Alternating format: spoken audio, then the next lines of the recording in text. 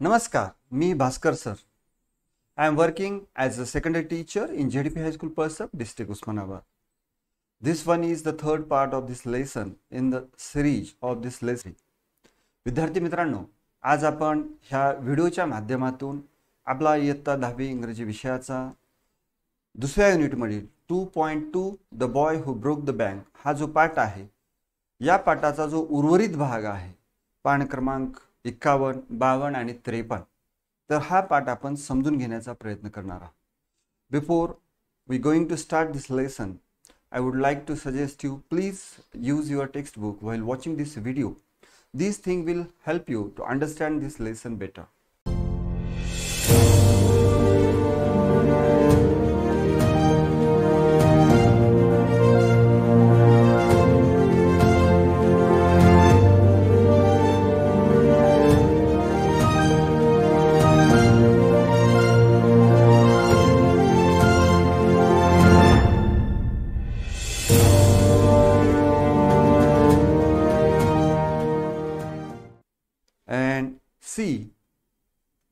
textbook on page number 51 Deep Chand, who was cutting the hair of an elderly gentleman, was so startled that his hand shook and he nicked his customer's right ear.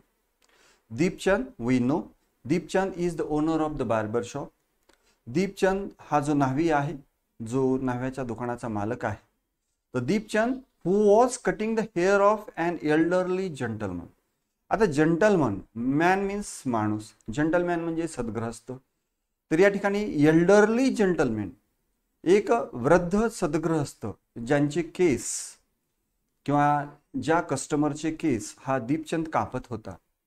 Was so startled that his hand shook when he heard the news that the Bank of People Nagar was about to collapse, about to bankrupt.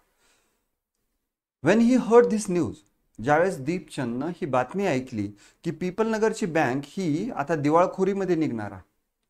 आणि त्याच वेळेस तो आपल्या ग्राहकाचे केस cut करत होता. When he heard this news he become so startled ज्यावेळेस त्याने ही बातमी ऐकली की बँक दिवाळखोरीत निघणार आहे तर त्यावेळेस तो खूप गोंधळून गेला त्याला धक्का बसला. And because of while hearing or while hearing this news he was so startled that his hand shook तो खूप त्याला धक्का बसला किंवा तो थोडासा शॉक झाला आणि त्या दरम्यान त्याचे हात हल्ले. ज्या हातानं तो त्या कस्टमरचे हेअर कट करत होता. अँड ही निकड हिज कस्टमर्स राईट इयर निकड म्हणजे थोडासा कापमार त्याच्या ग्राहकाचा जो उजवा कान होता त्या उजव्या कानाला केस कापत कापत त्यानं काय केलं? उजव्या कानाला त्याच्या कात्रीनं एक छोटीशी जखम केली. The customer helped with pain and distress pain because of the cut and distress because of the woeful news he had just heard मग त्याचा जो कस्टमर होता elderly gentleman yelped with pain yelped with pain pain म्हणजे या ठिकाणी वेदना किंवा जखम. नुकतंच दीपचंदच्या हातातून त्याच्या कानाला जे काही समजा जखम झाली होती तर या जखमेमुळं तो विवळला वेदनेनं विवळला. And distress yelped with pain and distress pain because of the cut त्याला वेदना का झाल्या? कारण त्याच्या कानाला कट बसला होता. त्याच्या कानाचा थोडासा काप उडाला होता. And distress because of the woeful news he had just heard he had just heard त्यानं नुकतीच जी आश्चर्यकारक बातमी ऐकलेली होती. तर त्यामुळं तो डिस्ट्रेस झाला म्हणजे अस्वस्थ झाला आणि त्याचा काम कानाला जी जखम झाली होती त्यामुळे त्याला वेदना झाल्या.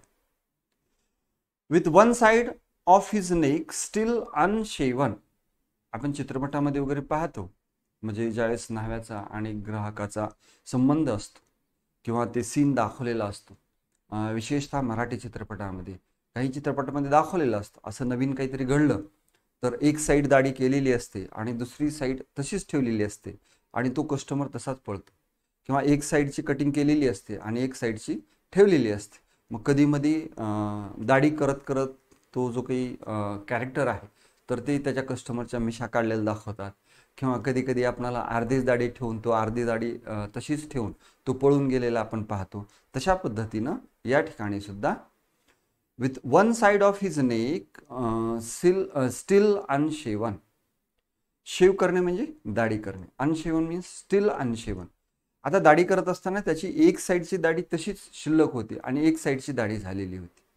He sped across the road to the general merchant store where there was a telephone that elderly gentleman the customer of Deepchand त्या दीपचंदचा जो ग्राहक होता की ज्याची अर्धी धाडी झालेली होती आणि अर्धी अजून करायची बाकी होती. तर ती तशीच ठेवून तो मर्चंट स्टोअर एक स्टेशनरी दुकान किंवा एक किराणा दुकान क्रॉस द रोड त्या रस्त्याच्या दुसऱ्या बाजूला जे होतं तर त्या दुकानाकडं तो धावत सुटला.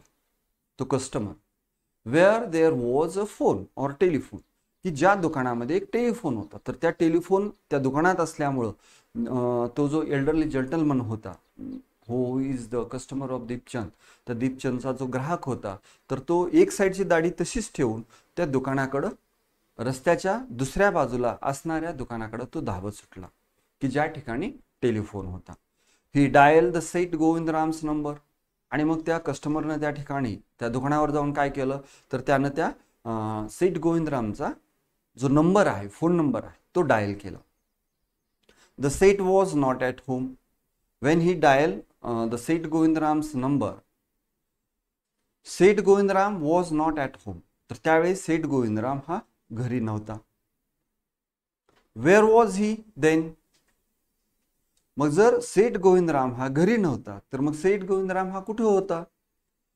The Seth was holidaying in Kashmir तर सेठ गोविंदराम त्यावेळेस हॉलिडेईंग इन काश्मीर काश्मीरमध्ये ते सुट्ट्या घालवण्यासाठी गेलेले होते.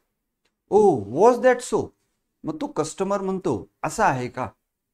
The elderly gentleman did not believe it believe म्हणजे विश्वास करणे. डिड नॉट बिलीव्ह इट म्हणजे एल्डरली जंटलमॅन किंवा तो जो कस्टमर होता तर त्याचा या गोष्टीवर विश्वास बसत नव्हता की सेठ गोविंदराम हे आज या गावामध्ये नसून तर ते काश्मीरमध्ये आपल्या सुट्ट्या घालत आहेत किंवा सुट्ट्या व्यतीत करण्यासाठी गेलेले आहेत. तर या बाबीवर त्याचा विश्वास बसत नव्हता. या ठिकाणी निकड म्हणजे cut slightly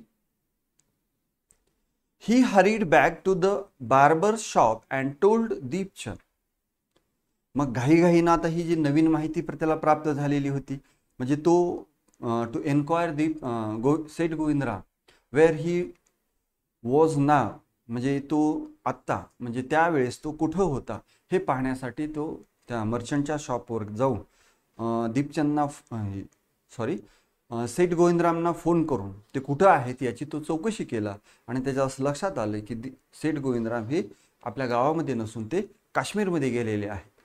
आणि ही बातमी घेऊन तो लगोलग म्हणजे लागलीच तो परत आला. ही हरीड बॅग तो घाईघाईमध्ये परत आला. टू द बार्बर शॉप त्या न्हाव्याच्या दुकानात अँड टोल्ड दीपचंद. आणि येऊन दीपचंदला तो सांगू लागला the bird has flow this is a phrase or we can say the special sentence. The bird has flow the bird has flown म्हणजे काय? पक्षी उडाला. जसं आपण म्हणतो ना पक्षी पिंजऱ्यातून उडून गेला. तशा पद्धतीनं सेठ गोविंदराम आपल्या गावातून पळून गेला. हे त्याला सांगायचं होतं. The bird has flown Seth Govindram has left town आणि तो काय सांगतोय आता? Seth Govindram had left town Seth गोविंदरामनी हे शहर सोडून गेलेले आहेत. डेफिनेटली आणि निश्चितच definitely means खात्रीपूर्वक definitely it means a collapse means म्हणजे म्हणजे. याचा अर्थ असा होतो सेठ गोविंदरामनी हे गाव सोडून गेलेले आहेत. याचा अर्थ निश्चितच असा होतो की the bank it means a collapse की जी बँक आहे पिपलनगरची तर ही आता दिवाळखोरीत निघालेली आहे. And then he dashed out of the shop making a beeline for his office and chequebook आणि असं दीपचंदला सांगून तो dashed out of the shop dashed out म्हणजे त्या दुकानातून झटकन बाहेर पडला. मेकिंग अ बी लाईन बी बी म्हणजे मधमाशी. बी लाईन म्हणजे मधमाशी जशा पद्धतीनं एका रेषेमध्ये पुढे जाते किंवा असा अशा पद्धतीनं पुढं जाते तर तशा पद्धतीनं तो सुद्धा for his office and chequebook तो त्याच्या ऑफिसकडं तो जो कस्टमर होता तो कस्टमर त्याच्या ऑफिसकडं धावत सुटला. कारण त्याला त्याच्या ऑफिसमध्ये जाऊन चेकबुक घ्यायचं होतं. The news spread through the bazaar with the rapidity rapidity of forest fire forest fire fire fire म्हणजे आग. पण कोणती आग? फॉरेस्ट फायर आता आपल्याला माहिती आहे जर जंगलामध्ये आग लागली तर ती नियंत्रणाच्या बाहेर असते आणि ती खूप वेगानं पसरते. जशा पद्धतीनं एखाद्या जंगलामध्ये आग लागल्यानंतर ती सगळीकडं पसरते तशाच पद्धतीनं ज्याला आपण वनवा असं म्हणतो. तशा पद्धतीनं ही जी बातमी होती about the banks bank corrupts or about the collapse of that bank Pipalnagar bank पिपलनगरची bank आता दिवाळखोरीत निघणार आहे. ही जी अफवा आहे किंवा ही जी बातमी आहे तर ही वाऱ्यासारखं किंवा जंगलात लागलेल्या वनव्याप्रमाणे सगळीकडं स्प्रेड झाली सगळीकडं पसरू लागली. The news spread through the bazaar with the rapidity of forest fire ती बातमी त्या बाजारामध्ये त्या मार्केटमध्ये वनव्यासारखी पसरू लागली. From the general merchants it travel to the shop ते मुख्य जे दुकान होतं ठोक जे दुकान होतं त्याच्याकडून इतर दुकानांकडे ही बातमी गेली. सर्क्युलेटेड अमंग्स द कस्टमर्स आणि प्रत्येक दुकानाकडून त्या दुकानामध्ये आलेल्या ग्राहकांकडे ती बातमी जाऊ लागली. And then spread with them in various direction आणि मग त्या ग्राहकाकडून spread this news in various direction म्हणजे सर्व दिशांना तर ती बातमी पसरू लागली.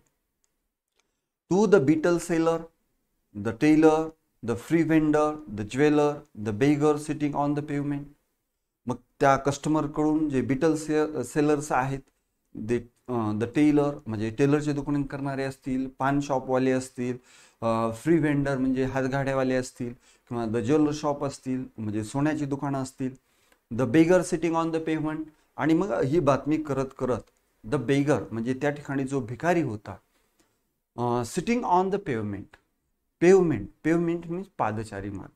आता पादचारी म्हणजे रस्त्याच्या कडेला व्यक्तींना किंवा वाटसरूंना किंवा त्या रस्त्यावरून पायी जाणाऱ्या व्यक्तींसाठी त्या रस्त्याच्या कडेला एक पादचारी मार्ग असतो म्हणजे पायी चालण्याचा मार्ग ज्याला आपण फुटपाथ असं म्हणतो.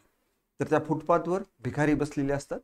तर त्या पादचारी मार्गावर किंवा फुटपाथवर बसलेल्या भिकाऱ्यांपर्यंत सुद्धा ही बातमी या ठिकाणी पोहोचली.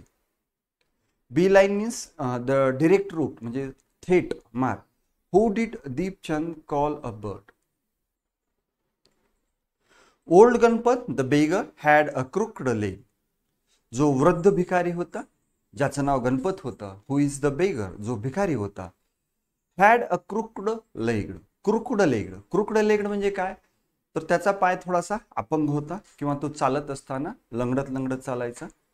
He had been squatting on the pavement for years squatting means occupying तर तो अनेक वर्षापासून त्या पेवमेंटवर त्या फुटपाथवर अनेक वर्षापासून तो तिथं बसलेला असायचा.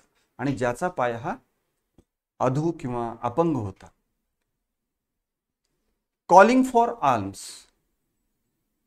the beggar Ganpat who occupying a particular place on that pavement and who was calling for alms आता कॉलिंग फॉर आर्म्स म्हणजे काय? भीक मागणे. To beg for something some money or some coins तर काही येणार रस्त्यावरून येणारे जाणारे जे लोक असायचे तर त्या लोकांना तो भीक मागायचा आणि त्याच ठिकाणी तो वर्षानुवर्ष किंवा कित्येक वर्षापासून तो बसलेला होता आणि आता तो वृद्ध झालेला होता आणि ज्याचा पाय हा आधू होता. In the evening someone would come with barrow and take him away मग दिवसभर तो गणपत नावाचा भिकारी त्या रस्त्याच्या कडेला बसलेला असायचा दिवसभर भीक मागायचा आणि इन द इव्हनिंग आणि सायंकाळच्या वेळेस कोणीतरी बॅरो मीन्स अ काट म्हणजे एक टांगा घेऊन यायचं आणि गणपतला त्या टांग्यामध्ये बसून घेऊन जायचं. He had never been known to walk because of his crooked leg त्याचा जो पाय अपंग होता त्यामुळं त्याला आत्तापर्यंत कोणीही चालताना पाहिलेलं नव्हतं. Nobody seen him to walk like normal people or normal person सर्वसाधारण व्यक्तीप्रमाणे त्याला आता चालताना कुणीही पाहिलेलं नव्हतं. सर्वांना असं वाटत होतं की गणपत हा जो आहे तो अपंग आहे तो चालू शकत नाही. आणि तो रस्त्याला कडेला बसलेला असायचा आणि तो भीक मागायचा. But now on learning that the bank was about to collapse Ganpat astonished everyone astonished astonish करणे म्हणजे surprised everyone when the Ganpat heard this news and he learn about the bank was about to collapse ज्यावेळेस त्यानं ही बातमी ऐकली आणि त्याला हे माहीत झालं की आपल्या गावातली पीपल नगरची जी बँक आहे ती आता दिवाळखोरीत निघणार आहे.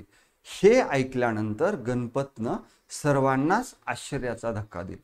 सर्वांनाच त्यानं काय केलेलं आहे? एक अनपेक्षित असा धक्का दिलेला आहे. आणि तो धक्का कोणता आहे? Leaping on his feet actually running at top speed in the direction of the bank. माहीत झाल्याबरोबर लिपिंग ऑन हिज फीट. त्यानं त्याच्या पायावर उडी मारली अँड किंवा झेपावला ज्याला म्हणू आपण पुढच्या दिशेला leaping to his feet and actually running at top speed तो झटपण उभा राहिला आणि त्याच्या पायावर तो टॉप स्पीडनं पळू लागला. जो गणपत आतापर्यंत अपंग असल्याचं नाटक करत होता आणि तो भीक मागत होता तोच गणपत आता बँक दिवाळखोरीत निघणार आहे. ही बातमी ऐकल्याबरोबर झटमन उठला आणि बँकेच्या दिशेनं तो धावत सुटला. It soon become became known that he had a thousand rupees in saving it soon became आणि लवकरच हे माहीत झालं. काय माहीत झालं? That he had a thousand rupees in saving म्हणजे त्या भिकाऱ्याचं किंवा गणपत नावाचा जो भिकारी आहे तर त्या भिकाऱ्याचं सेव्हिंगचं खातं बचत खातं हे त्या बँकेमध्ये आहे आणि याच्या खात्यामध्ये थाउजंड रुपीज म्हणजे हजार रुपये त्याच्या सेविंग खात्यामध्ये आहेत हे बाकीच्यांना माहीत झालं. आणि मग बँक दिवाळखोरीत निघणार आहे. आणि त्यामुळं मग आपल्या सेविंगमधले पैसेही बुडतील. आणि ते पैसे काढण्यासाठी म्हणून गणपतला माहीत झाल्याबरोबर तो बँकेच्या दिशेनं आपल्या पायावर अतिशय वेगामध्ये धावत त्या ठिकाणी गेला. आणि हे पाहून प्रत्येकजण आश्चर्यचकित झालं. Who surprised everyone and how Who surprised? The Ganpat surprised everyone. How? Uh, everyone knows that he had a crooked leg and he can't walk. But when he heard the news, he leaped on uh, to his feet and take a top speed in the direction of the bank. Uh, when other people saw this action, which they are unknown, or they are not aware about whether the Ganpati is walking or able to walk or not. But now, uh, hearing this news, he take uh, uh top speed and run towards the bank. Uh, when other people saw this, they become surprised. Men stood in groups at street corner discussing the situation. जे माणसं होते ते रस्त्याच्या कडेला समूहामध्ये उभारू लागले आणि समूहामध्ये ते चर्चा करू लागले. म्हणजे एकत्रित येऊन ते चर्चा करू लागले. आपण पाहतो गावामध्ये जर नवीन एखादा विषय असेल किंवा एखादी म्हणजे असं अनपेक्षित अशी काही घटना घडली तर लोक समूहासमूहानं त्यावर चर्चा करू लागतात. आणि मग चर्चे चर्चेचं रूपांतर महाचर्चेमध्ये होताना आपणाला दिसून येतं. त्या पद्धतीनं पीपल नगरचा पीपल नगर बँकबद्दलचा जो हा इश्यू तयार झालेला होता याच्यावर पीपल नगरमधील लोक समूहासमूहानं रस्त्याच्या कडेला थांबून या विषयावर चर्चा करू लागली. Pipalnagar seldom had a crisis seldom or never had flood earthquakes or drought and the eminent crash of the Pipalnagar bank set every one talking and speculating and rushing about in a French मग people नगरमध्ये seldom had a crisis crisis म्हणजे मोठी समस्या किंवा गंभीर स्वरूपाची समस्या. तर पीपल नगरमध्ये या अगोदर अशा पद्धतीची समस्या किंवा एखादा प्रश्न क्वचितच उद्भवलेला होता. Seldom or never had floods earthquake or drought आता फ्लड म्हणजे पूर किंवा महापूर अर्थक्विक म्हणजे भूकंप आणि ड्रॉट म्हणजे दुष्काळ. जसं आता सध्या आपण दुष्काळी परिस्थितीचा सामना करत आहोत किंवा तशी आशंका निर्माण झालेली आहे. मराठवाड्यामध्ये पावसाचं प्रमाण कमी असल्यामुळं यावर्षी दुष्काळ सदृश्य स्थिती निर्माण झालेली आहे. तर पिपलनगरमध्ये क्वचितच किंवा जवळपास नाहीच. महापूरही कधी आलेला नव्हता कधी भूकंपही झालेला नव्हता किंवा कधी दुष्काळ सुद्धा पडलेला नव्हता. आणि म्हणून the eminent crash of the Pipalnagar bank आत्ता सध्या पीपल नगर बँकबद्दल जो की समजा बातमी आलेली होती जी बाकी सगळ्या विषयांपेक्षा जास्त महत्त्वाची आणि आश्चर्यकारक होती. द एमिनंट क्रॅश म्हणजे ही जी समस्या या ठिकाणी उद्भवलेली होती of the Pipalnagar bank set every one talking and speculating तर प्रत्येक जण या बाबीवर बोलू लागलं. अँड स्पेक्युलेटिंग म्हणजे चर्चा करून करून चर्चेचं गुराळ जसं म्हणतो आपण चर्चेचं गुराळ या ठिकाणी करणे. म्हणजे एखाद्या विषयावर खूप सारी चर्चा करणे. तर प्रत्येक जण त्यावर बोलू लागलं चर्चेचं गुऱ्हाळ करू लागलं and rushing about in French आणि प्रत्येकजण यामध्ये सहभागी होऊ लागलं. प्रत्येकजण हिरिरीनं या चर्चेमध्ये भाग घेऊ लागले some boasted of their foresightedness congratulating themselves on having already taken out their money or on never having put any in. Others speculating on the reasons for the crash, putting it all down to ex, uh, excesses indulged in by Seth Govindra.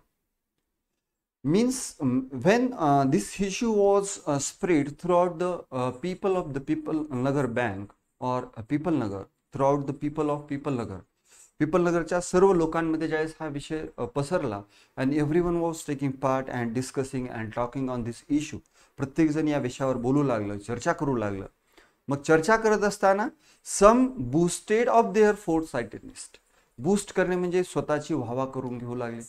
मी किती शहाणा आहे मी किती हुशार आहे अशा ते बढाया मारू लागले थोडंसं जास्तीचं बोलू लागले.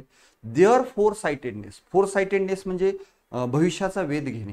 म्हणजे आम्हाला माहीत होतं हे असं होणार आहे. आणि म्हणूनच कॉंग्रॅच्युलेटिंग देमसेल्स आणि ते स्वतःच स्वतःचं अभिनंदन करू लागले.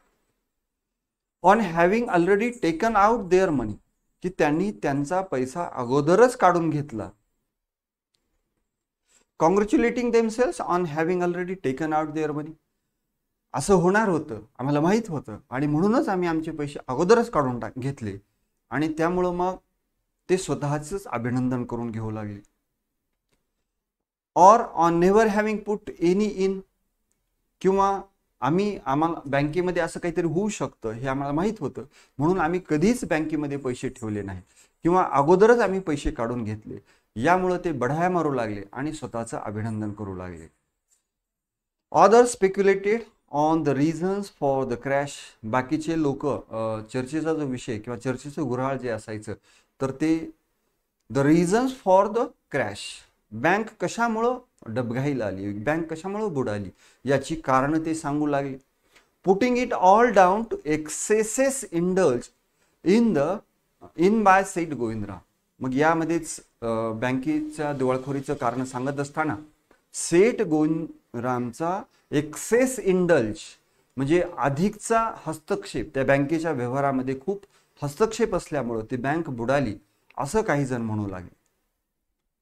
The Seth had fled the state said one he had fled the country said another एक जण म्हणू लागला की सेठ गोविंदराम हे राज्य सोडून गेलेले आहेत तर दुसरा म्हणू लागला ते देश सोडून गेलेले आहेत. He was hiding in Pipalnagar said a third तर तिसरा एक जण म्हणू लागला की ते नाही नाही सेठ गोविंदराम राज्यही सोडून गेले नाहीत देशही सोडून गेले नाहीत. ते पीपल नगरमध्येच कुठंतरी लपून बसलेले आहेत.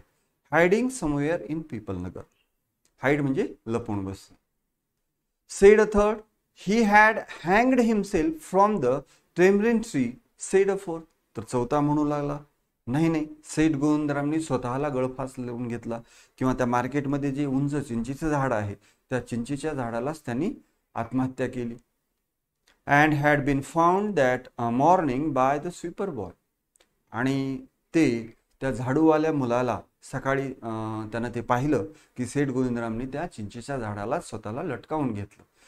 It means the people put their own views in their own attitude or in their own views लोक जे आहेत ते त्यांच्या त्यांच्या दृष्टीनं या पीपलनगर बँक कशामुळे उपलब्ध झाली किंवा नेमकं काय घडतंय याच्यावर ते प्रत्येकजण आपापलं मत या ठिकाणी व्यक्त By noon, the small bank had gone through all its ready cash and the harassed manager was in dialect. मग दुपारपर्यंत त्या बँकेतली जी रोख रक्कम होती दुपार संपेपर्यंत तर ती संपूर्ण संपून गेली the ready cash was over because of the crowd or because of the rush of the customer of that people Nagar bank त्या पीपल नगर बँकेच्या सर्व ग्राहकांनी एकच गर्दी केल्यामुळं त्या बँकेमध्ये दररोज व्यवहार करण्यासाठी असणारी जी रेडी कॅश होती ती संपून गेली होती.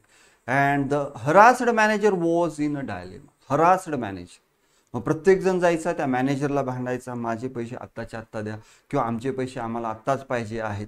तर तो जो मॅनेजर होता की ज्याची हरासमेंट ह्या कस्टमरकडून व्हायची म्हणून या ठिकाणी हरासड मॅनेजर म्हणजे परेशान झालेला तो मॅनेजर वॉज इन डायलेमा तो डायलेमा म्हणजे पेच प्रसंग.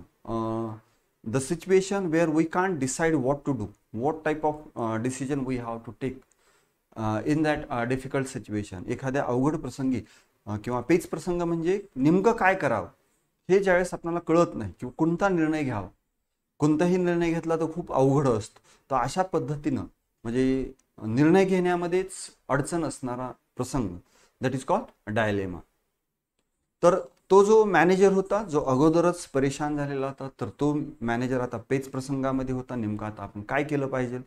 Emergency funds could only be obtained from another bank some thirty miles distance मग जे इमर्जन्सी फंड असतो म्हणजे जर तातडीचं काही अडचण आली तर लागणारा जो काही पैसा कॅन बी अपटेन तो फक्त दुसऱ्या शाखेतूनच प्राप्त होऊ शकत होता. आणि ती जी दुसरी शाखा होती किंवा दुसरी बँक होती तर ती thirty miles away from this Pipalnagar bank तर पीपल नगरच्या बँकपासून तीस मैल दूर अंतरावर एक दुसरी बँक होती आणि मग इमर्जन्सी फंड हा फक्त त्या बँकेतूनच मिळू शकत होता आणि ती त्या बँकेपासून दूर होती. And he wasn't sure he could persuade the crowd to wait until they he wasn't sure. आणि त्या मॅनेजरला याची खात्री नव्हती that he will be or he was able to persuade the mind of the crowd crowd म्हणजे गर्दी. त्या बँकेमध्ये कस्टमरनी जी गर्दी केलेली होती त्या गर्दीचं मन आपण वळवू शकू. परस्वेड करणे म्हणजे एखाद्याला एखाद्याचं मन वळवणं. तर हे जे सगळे कस्टमर रागारागामध्ये तिथं आलेले होते त्या सगळ्यांचं आपण मन वळवू शकू आणि मग त्या शेजारच्या बँकेमध्ये जाऊन पैसे घेऊन वापस येईपर्यंत तुम्ही थांबा किंवा तुम्ही उद्याच्याला या हे सांगू शकू आणि ते ऐकतील अशा मनस्थितीत ते नव्हते. आणि म्हणून आता आपण नेमकं काय करावं? हा पेच प्रसंग त्या मॅनेजरला पडलेला होता. Emergency fund could only be obtained from another bank some thirty miles distance and he wasn't sure sure he could persuade the crowd to wait until then. And there was no way of contacting Seth Govindram on his houseboat in Kashmir.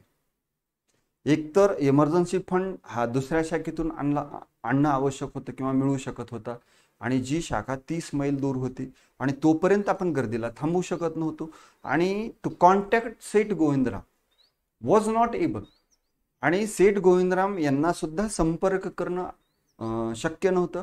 कारण का सेठ गोविंदराम हे holiday करण्यासाठी काश्मीरला गेलेले होते आणि काश्मीरमध्ये ते त्यांच्या हाऊस बोटमध्ये होते. काश्मीरला जे दल सरोवर वगैरे आहे तर त्यामध्ये पर्यटन करत असताना हाऊस बोट म्हणजे त्या बोटीवरच घर असतं आणि त्या घरामध्ये लोक राहतात आणि मग ती बोट त्या सरोवरामध्येच एक दोन तीन दिवस राहते. आणि मग तिथं कशाही प्रकारचा संपर्क त्या काळामध्ये केला जाऊ शकत नव्हता. त्यामुळं मग सेठ गोविंदराम हे सुट्ट्यासाठी काश्मीरला होते. आणि काश्मीरला सुद्धा ते हाऊस बोटीमध्ये असल्यामुळं त्यांच्याशी संपर्क करणं सुद्धा शक्य नव्हतं. People were turn back from the counters and told to return the following day मग ज्यावेळेस लोक जे कस्टमर आहेत पैसे काढण्यासाठी त्या बँकेमध्ये जायचे. आणि मग त्या बँकेमध्ये काउंटरला गेल्यानंतर त्यांना सांगितलं जायचं की come back tomorrow we will uh, now today is no uh, cash is over. And we can pay your cash tomorrow. Please come tomorrow. तर आज आमचा पैसा संपलेला आहे. तुम्ही उद्याच्याला या. आणि उद्या तुम्ही आल्यानंतर तुम्हाला पैसे दिले जातील. असं लोकांना सांगितलं जाऊ लागलं. People were turn back from the counters लोक काउंटरवर जाऊन वापस येऊ लागले. And told to return the following day आणि त्यांना सांगितलं जाऊ लागलं की तुम्ही उद्याच्याला या. They did not like the sound of that मग लोकांना हे आवडून आवडणं गेलं की आता पैसे जर पाहिजे आमचे बँक तर दिवाळखोरीत निघणार आहे अशी अफवा पसरलेली आहे. आता हे तर सांगता येत पैसे नाहीत आणि उद्या या मग उद्याचा काय भरोसा? म्हणजे आम्हाला आमचे पैसे आत्ताच मिळाले पाहिजे असा लोक अठ्ठास करू लागले. They did not like the sound of that and so they gathered outside उद्या या हे त्यांना सांगितलेलं आवडलं नाही आणि म्हणून ते त्या बँकेच्या समोर गोळा होऊ लागले गर्दी करू लागले. And so they gathered outside on the steps of the bank shouting give us our money or we will break in आणि त्या बँकेच्या समोर जमा होऊन ते घोषणा देऊ लागले गिव्ह अस आवर मनी आम्हाला आमचे पैसे द्या or we will break it नाहीतर आम्ही ही बँक मोडून टाकू. ही बँक आम्ही या बँकेवर आम्ही आक्रमण करू. अँड फेच द सीट मग काही जण ओढू लागले. त्या शेठ गोविंदरामला बाहेर काढा.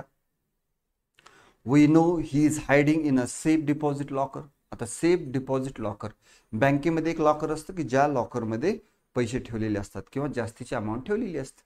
त्याला सेफ डिपॉझिट लॉकर लॉकर म्हणजे एक कुलूपबंद अशा पद्धतीची तिजोरी. सेफ डिपॉझिट लॉकर म्हणजे ज्या ठिकाणी मोठी रक्कम ठेवली जाते जी सुरक्षित असते चोरी होण्याच्या दृष्टिकोनातून. किंवा जी तिजोरी मोडली जाऊ शकत नाही. तर त्याला सेफ डिपॉझिट लॉकर असं म्हटलं जातं. आम्हाला माहीत आहे सेठ गोविंदराम ह्या याच बँकेमध्ये त्या सेफ डिपॉझिट लॉकरमध्ये म्हणजे तिजोरीमध्ये लपून बसलेला आहे. त्याला बाहेर ओढा. Mischief makers who didn't have a paisa in the bank आता ज्यावेळेस समजा सामाजिक अस्वास्थ्य किंवा थोडंसं दंगलसूत्रश परिस्थिती होत तयार होते. तर जे समाजकंटक असतात विघातक असतात ज्यांचा काही संबंधही नसतो असे लोक त्याच्यामध्ये सहभागी होतात. आणि जे गर्दीचा जे काही म्हणजे राग आहे तर ते वाढवण्याचं काम करत असतात. परिस्थिती कशी चिघळेल कशी हाताबाहेर जाईल या दृष्टीने ते प्रयत्न करत असतात. मग या गर्दीमध्ये सुद्धा काही मिसशिप मेकर्स काही खोडकर किंवा काही समाजकंटक लोक जे असतात तर हे मिसळले. Who didn't have paisa in the bank की ज्यांचा एक पैसा सुद्धा त्या बँकेमध्ये नाही किंवा ज्यांच्या खिशामध्ये फुटकी कवडी नाही असं म्हणूया आपण. किंवा त्या बँकेचा आणि ज्यांचा काही अर्थार्थी संबंध नाही.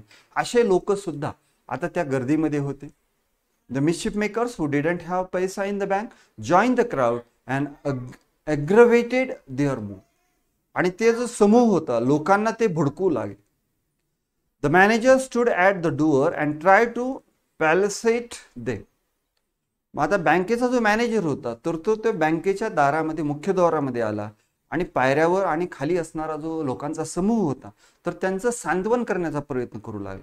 त्यांना समजावून सांगण्याचा प्रयत्न करू लागला. Placate means to stop someone from feeling angry म्हणजे त्यांचा राग शांत करण्याचा तो प्रयत्न करू लागला. He declare that the bank had plenty of money मॅनेजरनं घोषणा केली सगळ्यांसमोर की बँकेकडं प्लेंटी ऑफ मनी म्हणजे भरपूर पैसा आहे बँकेकडे तुम्हाला पैसे देण्यामध्ये काही अडचण नाही. But no immediate means of collection परंतु immediate means of collection means म्हणजे साधन या ठिकाणी. परंतु तो पैसा आत्ता आपण आपल्याला उपलब्ध होत नाहीये. किंवा आत्ता तुमच्यासाठी उपलब्ध करणं शक्य नाही. त्याचं काही साधन सध्या आपल्याकडं नाहीये. परंतु याचा अर्थ असा नाही की बँकेकडे पैसे नाहीत. बँकेकडे भरपूर पैसे आहेत. फक्त ते आत्ता उपलब्ध होऊ शकत नाही he urged them to go home and come back the next day urge means to request तो विनवणी करू लागला. तो विनंती करू लागला त्या लोकांची की तुम्ही आत्ता घरी जा आणि उद्याच्याला तुम्ही परत या. आम्ही तुमचे पैसे आम्ही तुमच्या सर्वांचे पैसे उद्या देऊ शकतो किंवा उद्या देण्याचा आम्ही प्रयत्न करतो. He urged them to go home and come back the next day तो लोकांना विनवणी करू लागला की तुम्ही आज घरी जा. आणि उद्याच्याला पैसे घेण्यासाठी या. We want it now chanted some of the crowd now now now मग त्या गर्दीतलं कोण तर म्हटलं की वी वॉन्ट इट नाव आम्हाला आमचे पैसे आत्ताच पाहिजे आहे असं एक जण म्हटलं की सगळेजण चॅन्टिंग करू लागले. तसं ते परत परत म्हणू लागले आत्ता आत्ता आत्ता. म्हणजे आमचे पैसे आम्हाला आत्ताच पाहिजे आहे and a brick hurled through the air and crashed through the plate glass window of the Pipalnagar bank आणि त्या गर्दीतून अ ब्रिक ब्रिक म्हणजे वीट. कोणीतरी एक जणानं हर्ल थ्रू द इयर त्या गर्दीतून एक वीट भिरकावली गेली म्हणजे बँकेच्या दिशेनं and crashed through the plate glass window आणि त्या विंडोचा जो ग्लास प्लेट होती त्या बँकेच्या खिडकीची जी काचेची विंडो होती तर त्याच्यावरती जाऊन आदळली. Of the Pipalnagar bank Nathu arrived next morning to sweep the steps of the bank आता एक बीट गेली म्हणजे याचा अर्थ काय झालं? आता दगडफेक सुरू झाली असेल. आणि सम त्या जो काही जमाव आहे किंवा जे मिसचिप बिहेवियर्स आहेत किंवा जे कल्प्रिक्ट आहेत who join that crowd who aggravated the crowd जे त्या uh, गर्दींला उचकवण्याचं त्यांचा जास्त राग आणण्याचं काम करत होते. आणि एक वीट गेली याचा अर्थ एक जणानं वीट मारली म्हणजे बाकीच्यांनी सुद्धा दगडफेक केली असेल. आणि त्यामुळं मग त्या पीपल नगर बँकचा जो काही शो असेल ग्लासेस असतील ते सगळे काय झालेले असणार आहेत मग? तर ते सगळे ब्रेक झालेले असणार आहे. मग आता दुसऱ्या दिवशी सकाळी नथू नेहमीप्रमाणे कामावर गेला आणि त्या बँकेची साफसफाई करू लागला. Nathu arrived next morning to sweep the steps of the bank आणि दुसऱ्या दिवशी सकाळी नथू त्या बँकेच्या पायऱ्या झाडण्यासाठी तिचा त्या ठिकाणी आला. He saw the refuse and the broken glass and the stones cluttering the steps आणि ज्यावेळेस तो दुसऱ्या दिवशी सकाळी आला तर त्यावेळेस त्यानं पाहिलं द रेफ्यूज रेफ्यूज म्हणजे कचरा किंवा दगड ओटे ज्याला म्हणूया आपण. Refuse and the broken glass and the stones cluttering the steps त्या बँकेच्या पायऱ्यावर विटा दगड काचे काचेचे तुकडे आणि इतर कचऱ्याचा म्हणजे ढीग लागलेला होता किंवा त्या ठिकाणी फार मोठ्या प्रमाणात दगड विटा किंवा जे ब्रो ब्रोक झालेले म्हणजे तुटलेले ग्लास आहेत तर हे त्या यांचा खच पडलेला होता. Raising his hands in a gesture of horror and disgust he cried raising his hand when he saw there was a lot of dust or there are uh, stones, uh, broken glasses and bricks and refuse in a large quantity on the step of Peoplenagar Bank. त्या पीपलनगर बँकेच्या पायऱ्यांवर कचरा किंवा दगड धोंड्यांचा ढीक पडलेला आहे. आणि हे ज्यावेळेस त्यानं पाहिलं तर त्यावेळेस त्यानं ही रेज्ड हिज हँड त्यानं त्याचे हात डोक्यावर लावून in a gesture of horror आणि ते सगळं पाहून त्याला आश्चर्य वाटलं की हे काय झालेलं आहे. And disgust he cried disgust म्हणजे ज्याला काय म्हणूया आपण हिअर हेट्रेड तिरस्कार करत. कारण का एकतर पैसे नाहीत भेटत आणि हे तर सगळं काम वाढून बसलेलं आहे. म्हणजे एवढं सगळं आता साफ करायचं म्हणजे किती त्रास आहे? अशा अर्थानं ही क्राईड हलिगन्स हलिगन्स मीन्स बुली म्हणजे मूर्ख लोक. कुणी केलं असेल हे? सन्स ऑफ डॉंकीज गाढवांचे किंवा गाढव कुठले सन्स ऑफ डॉंकीज गाढवांची मुलं की ज्यांनी हा कचरा केलेला आहे एवढी तोडफोड केलेली आहे. As though it hasn't as though it isn't bad enough to be paid late हे तर खूपच काम वाढून बसलं. हे काम करण्यापेक्षा उशिरा पगार मिळालेला चांगला होता. म्हणजे उशिरा पगार मिळण्यापेक्षा हे वाईट झालेलं आहे. एवढा सगळा आता कचरा साफ करायचा आहे आपणाला. ॲज धू It isn't bad enough to be paid late.